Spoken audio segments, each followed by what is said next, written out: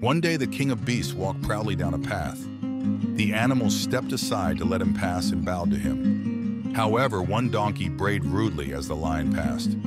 The lion felt a flash of anger, but when he saw who had spoken, he walked quietly on. The great lion would not raise one claw or bother himself with such a fool. Do not listen to the words of a fool. Ignore them.